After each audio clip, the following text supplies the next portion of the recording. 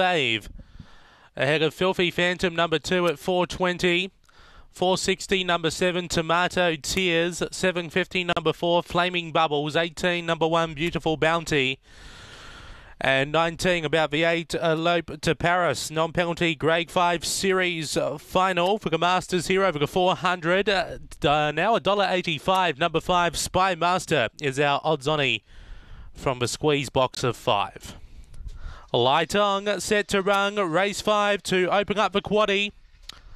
Set away. Spymaster was only fairly away, winning the start. Filthy Phantom goes to the top by a length over Spymaster. A length away then Flaming Bubbles with Tomato Tears, Beautiful Bounty, and Elope to Paris off the back. Spymaster goes to a half length lead. Filthy Phantom trying to lift again on the inside. Now peels to the outside, but Spymaster got clear, and Spymaster too good. Beats home Filthy Phantom. Third, Elope to Paris. Fourth should be Tomato Tears, just in front of Beautiful Bounty. And and Flaming Bubbles 22.96. Spy Master number five gets up for Brian Styles in front of the two Filthy Phantom Tony Heinrichsen.